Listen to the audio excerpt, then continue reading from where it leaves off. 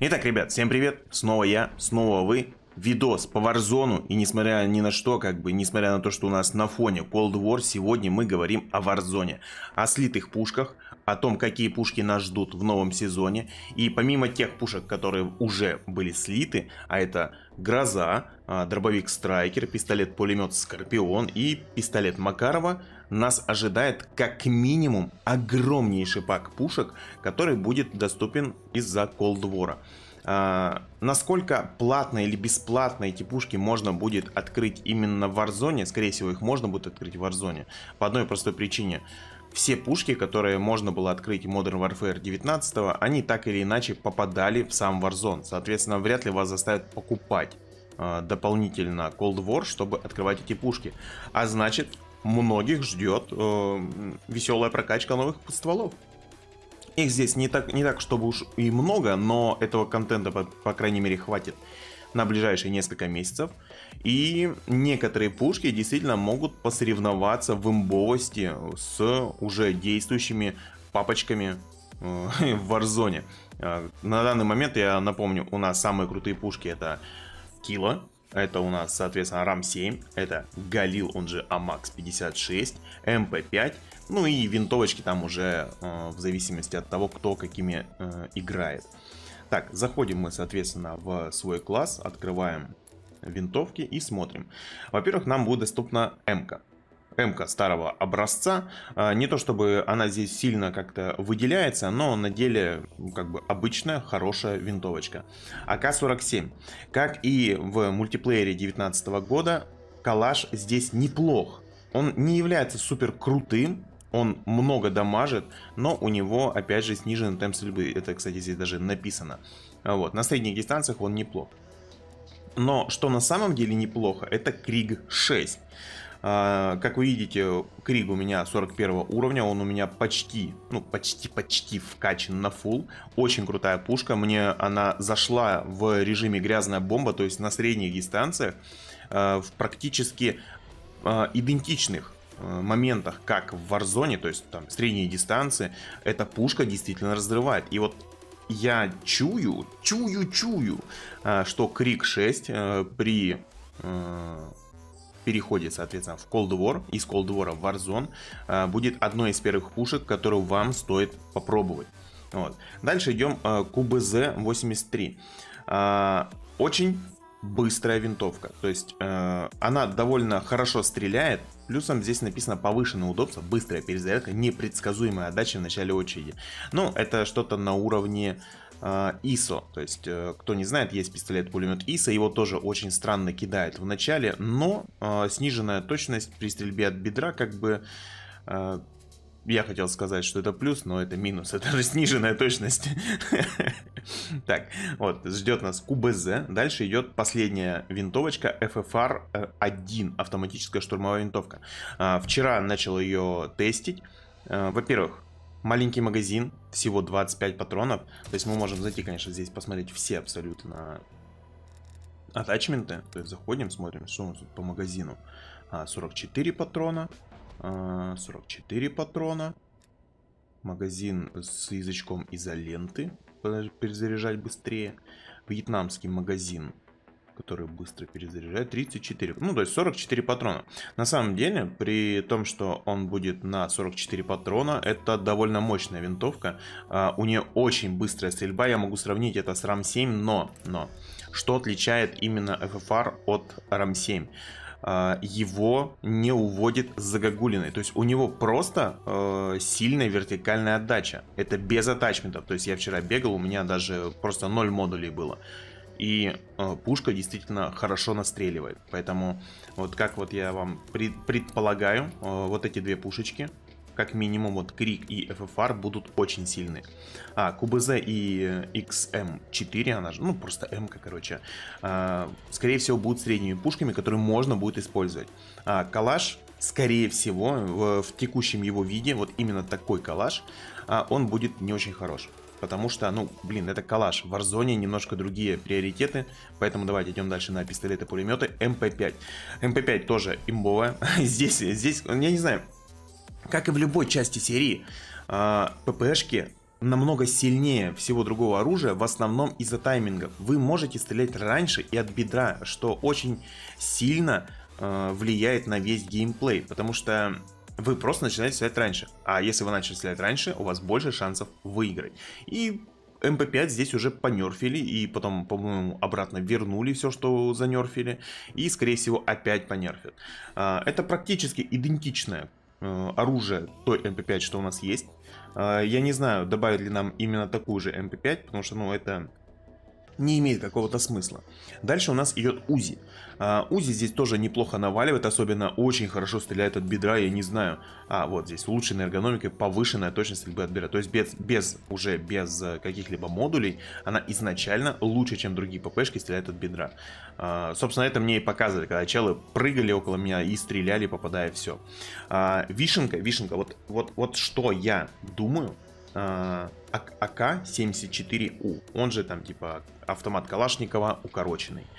А, в чем прикол?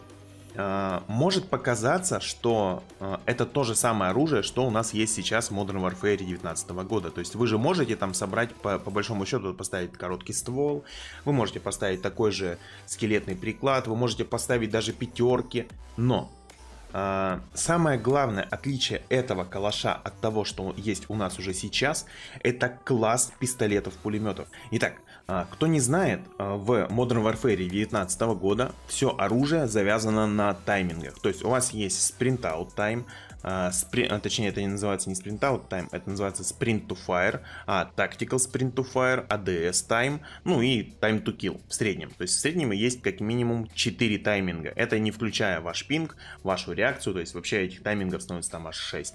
Вот. Самые главные тайминги это uh, sprint out time, tactical sprint out time и ADS. Во-первых, uh, Пистолеты-пулеметы всегда имеют практически в два раза меньше sprint-out time и tactical sprint-out time в отличие от, соответственно, штурмовых винтовок. То есть, а, чисто технически вы можете в Warfare 2019 года сделать себе из АР типа пистолет-пулемет. Но на деле это не будет пистолетом-пулеметом, потому что любая пепка с земли даже, без модулей, будет целиться и стрелять, и самое главное, стрелять, наваливать от бедра, от бедра, э, быстрее, чем ваша, допустим, не знаю, м на парабеллумах, или ваш калаш короткий и на пятерках. Он все равно будет иметь 400 МС при прицеливании после, э, ну, для стрельбы после бега, что убивает весь смысл этой винтовки. В нашей же в, на, в нашем же Cold War АК-74У имеет класс пистолета-пулемета. И если АКУ окажется в пистолетах-пулеметах на пятерках, 40 урона, это много, между прочим. Вот эта пушка имеет все шансы стать имбовой, потому что она хорошо наваливает от бедра, а, она достаточно быстро стреляет и у нее много урона. То есть вот это, скорее всего, заменит вот это, именно в Modern Warfare. Потому что, ну, опять же, вы сможете стрелять на э, чуть более дальнюю дистанцию. Потому что, например, пистолет-пулемет э, МП5, э, он стреляет примерно на 10 метров без потери урона. То есть на 10 метров вы наваливаете с э, МП5 где-то 49 в голову, ну и соответственно там где-то 25 в туловище. В то время как калаш на пятерках уже даже тот, который есть у нас в Modern Warfare, наваливает 40 урона на дистанцию почти в 30 метров. Это очень много, но Опять же, как я вам говорил, вот эти тайминги, они очень сильно решают, и из-за этого MP5 намного адекватнее в этом плане. Дальше у нас идет пистолет-пулемет КСП-45. А, в чем прикол? Это пистолет-пулемет, который здесь стреляет отсечкой, и в War оружие с отсечками просто невозможно. Я вам, ну, я, я, я не шучу, но практически все оружие, которое стреляет здесь отсечкой, убивает за одну отсечку но это, соответственно, условности этой игры. То есть здесь оружие наваливает таким образом. В Warzone, скорее всего, при его дистанциях, э, именно те пушки на отсечках, которые здесь имбовые, они не будут так наваливать. Но вот пистолет-пулемет, пистолет-пулемет, стреляющий по три патрона, возможно, будет иметь место Bullfrog. А, ну, по сути, это тот же самый Бизон. То есть э, Бизон у нас точно такой же, абсолютно точно такой же. Емкость магазина здесь у него, правда, 50 патронов, насколько я могу судить. Идем дальше. Тактические винтовки. У нас есть что какое-то подобие СКС-ки. Ну, это очень сильно похоже на СКС-ку. А, оружие, опять же, ДМРки здесь сильные, но а, ДМРки на отсечках. То есть вот М16 вот такая, и АУК стреляет отсечками.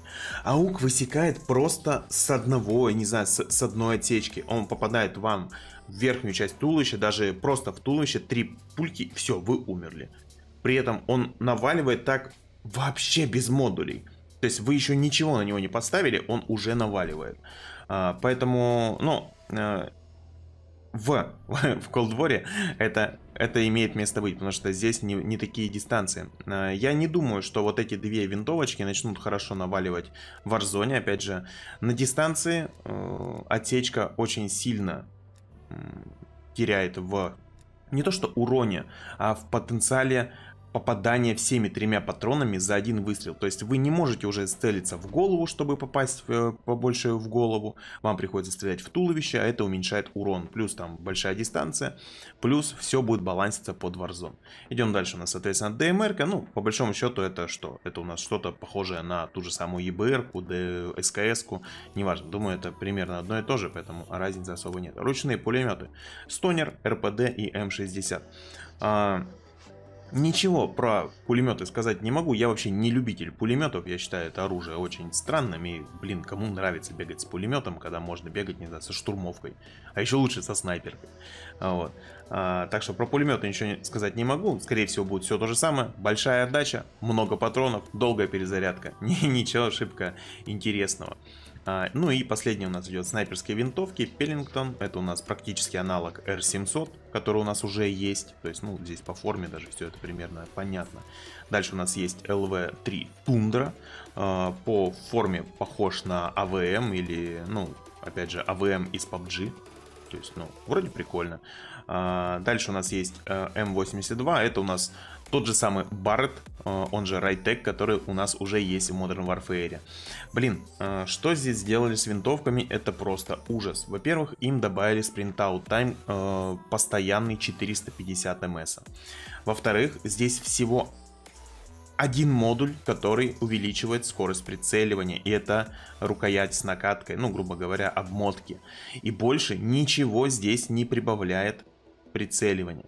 Я думаю, во-первых, э, помимо того, что э, все эти пушки будут баланситься под Warzone, э, модули также будут переделаны. Потому что здесь, например, лазеры, они не дают ничего. То есть вот э, ствольная коробка у нас здесь есть, э, пылестойкий диодный лазер, повышающий точность стрельбы от бедра. Э, но вы не сможете себе здесь найти э, лазер, который как тактически дает скорость прицеливания. А, здесь у нас есть, допустим, подствольный фонарик. Кстати, фонарик это, это замена, по большому счету, э, слота перков. То есть э, в МВ-19 есть перки, которые позволяют на дистанции обнаруживать цель. То есть они будут, у них ники будут подсвечиваться. И это вроде не особо юзабельно. А вот в Modern Warfare это вполне себе, точнее в Cold War это вполне себе неплохо работает. То есть вот у нас есть рукоять и все, что она делает, 12%. 5%, 12% время прицеливания и, и, и все. Все, 12%. То есть на деле там это дает, ну, где-то 30 МС скорости прицеливания. А здесь очень сильно хейтят снайперки, и я, я допустим, я, я не знаю, зачем так делать. Так, а, кстати, я забыл, еще есть пулеметы, ой, пистолеты. Заходим, у нас есть 1911, есть Magnum, Диамати это по большому счету та же самая Ринетти. Кстати говоря, пестоли здесь наваливают неплохо. Особенно здесь просто, не знаю, ебейший магнум. А, чуваки с Акимбо магнумами бегают и попадают на расстояние метров 30 в тебя просто с двух стволов в прыжке. И это просто жесть. Я не знаю, они ваншотают. В прямом смысле, они ваншотают. Дальше у нас есть дробовик. Кстати говоря, здесь дробовики у нас идут в втором слоте. То есть вы можете взять снайперку э, и не ставя себе джокеры, взять, допустим, себе дробовик. Это, это жесть вообще. А, Гала, по-моему, уже понерфили, но он раньше прям наваливал очень сильно. А, ну и, в принципе, здесь дробовики сильные. Но это, опять же, в условностях Cold War. А дальше идем. Гранатометы. Ну, дефолтный RPG-7. Кигма это у нас та же самая стрела, насколько я могу судить. Она точно так же приклеивается к э, киллстрикам, которые летают по воздуху и, соответственно, сбивают их. Рукопашная. Ножик у нас тут тоже есть. И особая М79. Блин, если эту пушку добавят в дропы с земли, это будет круто. Ну, типа, это, это, это тот же самый бульдог, вот этот гранатомет бульдог, который сейчас выпадает, только, ну, он по одному заряду стреляет. Я думаю, как бы берданка была бы покруче вместо а, вот, этой, вот, вот, вот этого бульдога. Вот. Ну и все. На, на этом у нас э, различия окончены. То есть я не думаю, что нам добавят перки, как отсюда. А, я не думаю, что нам добавят Джокера, но все возможно. То есть на данный момент мало известно касательно того, что именно поменяется в Warzone, кроме того, что в него введут все оружие из War и э, добавят новые пушки. А вот. Надеюсь, вам видосик был интересен. Э, можете приходить на стрим, можете подписаться. Ну и приходить на стрим опять же. Всем спасибо, всем пока.